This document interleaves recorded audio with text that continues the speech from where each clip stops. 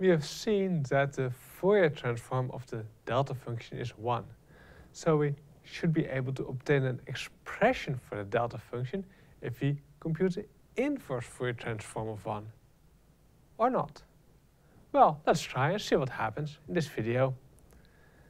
So, let's uh, repeat. We had a representation of the delta function by taking Gaussian phi of x equals e to the power minus 1 half x squared and a normalization factor. And then if we computed uh, phi epsilon of x by substituting x over epsilon and then 1 over epsilon over here, we got, uh, if we took epsilon to 0, smaller and smaller peaks, but well still area 1. So our phi epsilon of x is a so-called representation of the delta function. If you take epsilon to 0, you get this delta spike uh, at zero. So we can say limit epsilon to zero of epsilon of x equals delta x. Well, I put this between quotes because, well, for physicists this is fine, but strictly speaking for a mathematician, uh, he doesn't really like that because your delta function is not really a function uh, because it's zero everywhere and infinity at the origin. So that's why the quotes are there.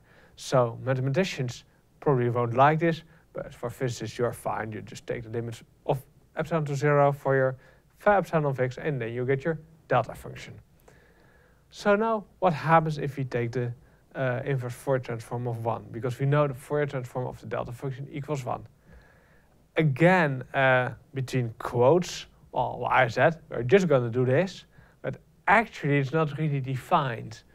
And uh, why is that? Well, in order to be defined, the integral you are transforming or transforming back should be bounded. And we'll see that if, if you uh, integrate uh, this, this 1 later on with the e to the power minus omega x, and then you'll see the integral doesn't converge. So there are uh, some uh, subtleties here, so that's why the quotes are there. But, well, let's just do it and see what happens. So, what are we going to do?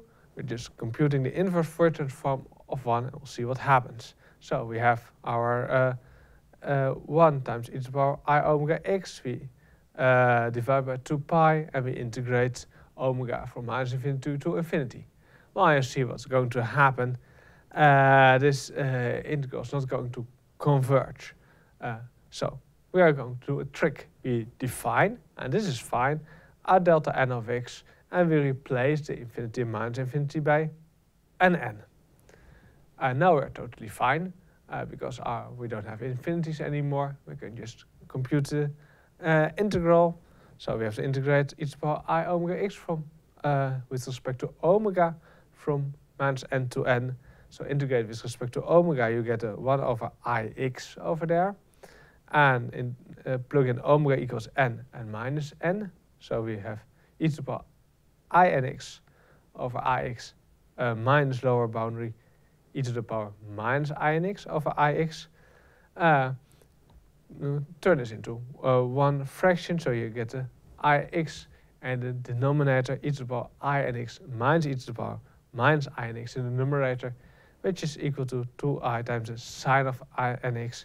Factors of i cancel out, and you get 2 times sine nx divided by x as your uh, delta n of x. And now you see uh, oh, what's the problem over here. Your sine nx is a sine, and if you take n larger and larger, it goes uh, faster and faster up and down. So it starts to wiggle uh, faster and faster. Uh, so, uh, oh, forgot, forgot the factor 2 pi. For the delta nx, you get uh, sine nx over pi, pi x. So your delta function would become a limit n to infinity of delta nx equals the limit n to infinity of sine nx over pi x. And this is called another representation of the delta function. So we have the first one over here with the Gaussian, and here we have a second uh, way to represent the delta function. And again, this is a bit uh, tricky uh, because if you take n to infinity, isn't a function anymore. Well, of course it isn't, because the delta function isn't a real function as well. Now, notice we can use this formula we have here for the delta function using the um, uh, inverse uh, Fourier transform over here. Uh, uh, to find uh, to, or to memorize the formula for Fourier inverse formula Fourier transform.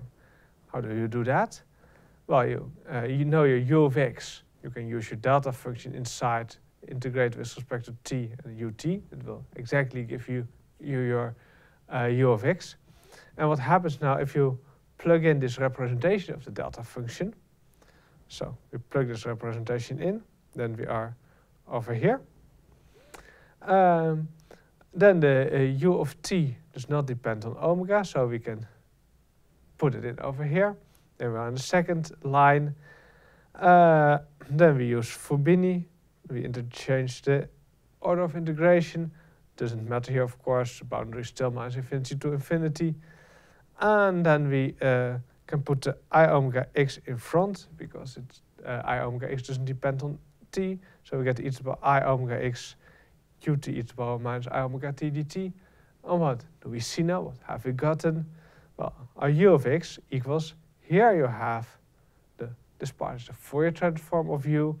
And now you also see immediately how you get the inverse Fourier transform of u. Uh, you have to, in, if you have your Fourier transform of u, you have to add your factor e to the power i omega x integrate with respect to omega and divide by 2 pi. So you also can use this representation of the delta function as an integral to derive uh, very fast the uh, inverse Fourier transform formula.